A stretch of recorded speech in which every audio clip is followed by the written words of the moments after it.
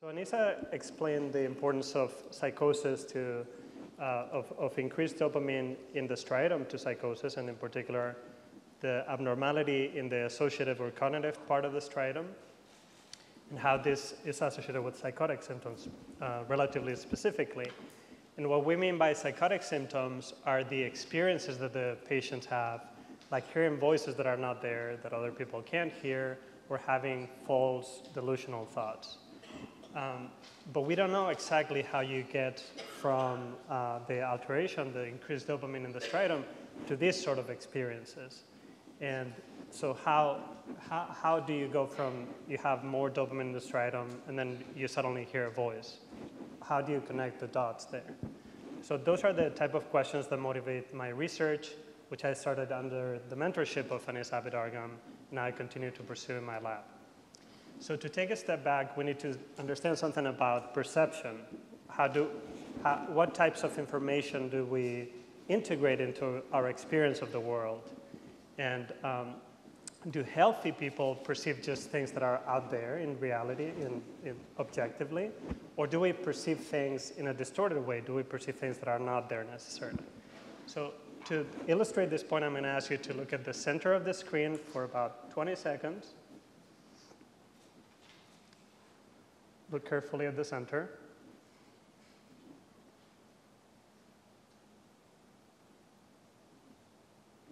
Just a bit longer. Okay. So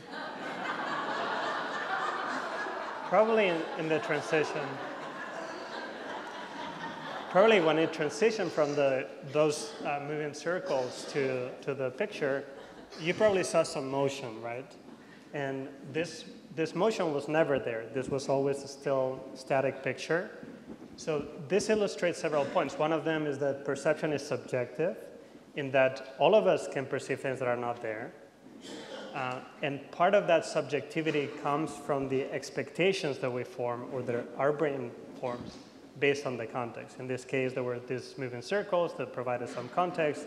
We expected for that motion to continue, and then when we transitioned to something that was still, our brain generated this illusion that there was still motion, right? It also illustrates another point, which is that there are errors in perception that are not necessarily indicative of any pathology. All of us have them. And indeed, I can go into details, but they actually suggest that the brain optimally integrates different sources of information. So this is not necessarily a bad thing, and it's actually a good thing in many contexts.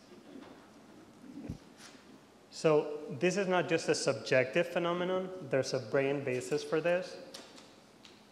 So for instance, when you're listening to my voice right now, uh, we know quite a bit of what parts of the brain, what circuits are processing this information. And we know that there's a part of the brain here in the auditory cortex, in so-called voice selective regions of the auditory cortex, that are being activated right now when you hear my voice. And we know that something like this happens also when patients are hallucinating voices. So they're experiencing voices that other people can't hear, but they tell us, yeah, I'm hearing this voice. So what happens during those periods is that there's increased uh, metabolism, increased activity in uh, those parts of the auditory cortex, very similar parts. This is with a, a PET measure of metabolic activity. And we also see that with functional magnetic resonance imaging. We see that there's engagement in these same regions that are voice selective when the person tells us that they're hearing speech, but we know there's no real stimulus there. So that begs the question of how is information being processed in these regions of the brain? So we have done a number of experiments to, to look at that question. And as I mentioned before, we think that expectations play a, a big role in how the information is being processed. So to simplify things a little bit, what we know is that um, when you're listening to one voice, for instance, or one uh, have some sensory event, we know that not all of those events are equal, and your brain encodes them in a way that depends on how surprising or how unexpected they are. As if um, redundant and predictable information is not as important and the brain doesn't engage as much during uh, processing of that information. And when there's some information that is very new and completely unpredictable, the, the brain actually activates more, right? Which again suggests this, this role of expectations in how we perceive the world and how the brain is processing that information. And this is formalized in mathematical models that explain how the, this might happen uh, from an optimal point of view in a theoretical way. And this have informed a lot of our, our experiments in the laboratory in, in patients.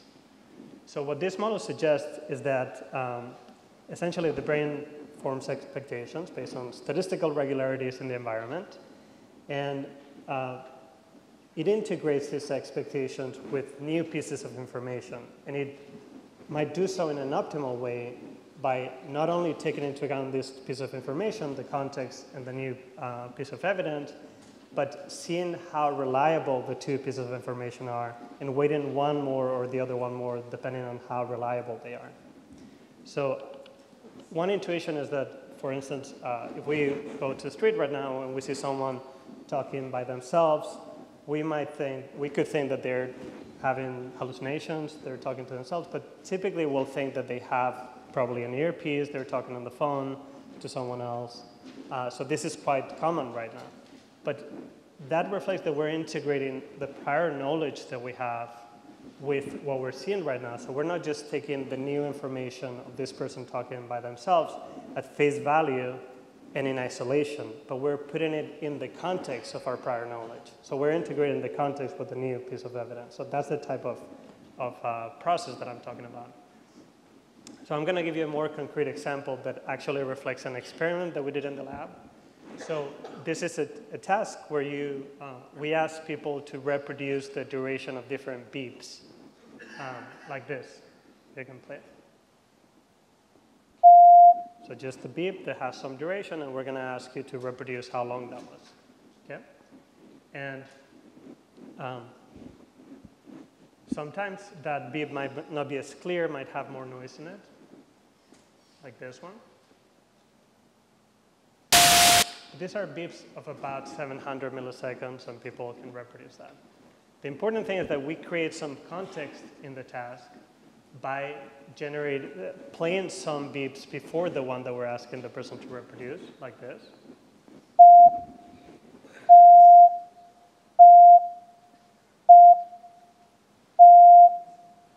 So you heard some beeps that are not exactly the same, uh, but they're about, uh, say, 500 milliseconds. And that creates a context that, based on the mechanisms that I was explaining, is going to be integrated with the new information, which is the last beep that we're going to ask the person to reproduce. So what this model suggests is that the perceived duration of the beep, or of the last beep, is going to be somewhere in between the expected uh, duration based on the context and the actual duration of the tone that we're asking the person to reproduce. And this is well balanced um, in between the two. But we can also change the context and make it very, very consistent, like this.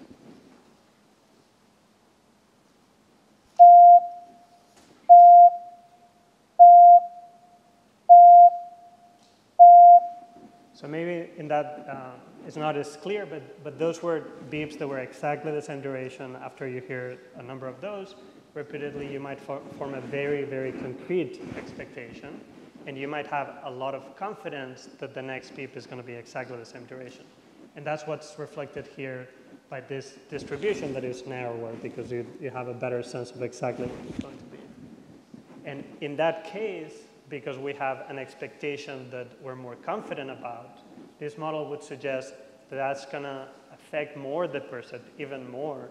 So the percept right now is not going to be exactly in between the reality of the last tone that you're supposed to reproduce and the context, but even more biased towards your expectations and further away from reality. So you see there's a balance from uh, your experience being closer to the expectations or closer to reality. And this changes based on how much confidence we have in different sources of information. So what we have seen in the lab in uh, people with schizophrenia is that people with mild or no hallucinations have a pretty well balanced system and their percepts are sort of optimally in between the actual stimulus, the actual beeps, and, and the expected durations. But in people uh, with more severe hallucinations, we see that their percepts, their subjective experience of the duration of the beep is more biased towards their expectations, right? So it's further away from reality. And this correlates with how severe their hallucinations of voices are. And this is, I should point, this is uh, with the exact same task, the exact same context, but they're assigning more confidence to the same contextual information, and that is bias in their perception more. And we see that this is related to the sort of uh, dopamine measures that Anissa explained of uh, dopamine in the striatum. So we see that people with more severe hallucinations have more dopamine in the striatum, and people with mild or no hallucinations has, have less dopamine. And these two phenomena are correlated. So this suggests a model, this is an oversimplification, but the idea is that too much dopamine in the striatum leads to uh, disproportionate confidence in expectations, and this leads to more biased perception. And this may lead to hallucinations based on our work. And this is uh, still ongoing work, but we're working on this. But we think that this sort of model is important for several reasons. One, we know that, like Anissa also explained, dopamine block, most common antipsychotics, or all of them actually, block dopamine at this upstream level here. And we're hoping that it corrects some of these downstream processes. But we know that some people don't respond to antipsychotics and still have hallucinations and other symptoms. And what we want to do is to try to understand these processes better, to try to tackle them directly. And that might be good in the sense that some patients might have a very particular profile of symptoms, for instance, only hallucinations, and we might only want to alter this without changing dopamine in the striatum more generally. So this might lead to a new generation of uh, uh, more targeted improved treatments. The other important thing, like Nissa mentioned, is that we're also trying to develop new non-invasive MRI-based methods to look at this dopamine dysregulation, which is very important in schizophrenia. And Anissa talked about methods uh, that measure dopamine in the synapse at the level of the striatum. Um, with MRI, we can also measure an indirect uh, proxy for this process at the level of where the bodies of those cells are in a part of the brain called the midbrain, in particular in the substantia nigra. And we do this with a technique called neuromelanin, neuromelanin sensitive MRI. Neuromelanin is a product of the metabolism of dopamine, and it accumulates in this part of the brain here in the substantia nigra.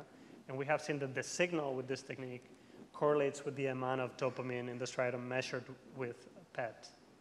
Uh, so we think this is important, like Anissa mentioned, because uh, this may provide a non-invasive way of tracking progression of illness and also looking at kids who might be at risk to develop psychosis. And hopefully this will give us a biomarker to see who might develop uh, schizophrenia and perhaps to be able to treat them earlier. We're also doing some work in delusions, in the other type of false uh, delusional beliefs, with a similar model. And I don't have time to explain this, but the idea is very similar. It's a similar model. So, uh, like I said before, we think this is important because it might be uh, a way to uh, produce new treatments, but also because it might reduce the stigma that is associated with psychosis by casting it in terms of an extreme variant of something that happens to all of us that are just biases in, in perception and the way we think about things. So with that, I'd like to thank uh, my mentor, Anissa Abi-Dargham, and also my previous mentor, Brad Peterson, uh, trainees in the lab who have worked in this, uh, in these projects that I mentioned, a lot of collaborators and colleagues at Columbia and elsewhere, uh, funding sources, of course the patients, and of course BBRF for their outstanding mission and, and their support uh, to young investigators. Thanks so much.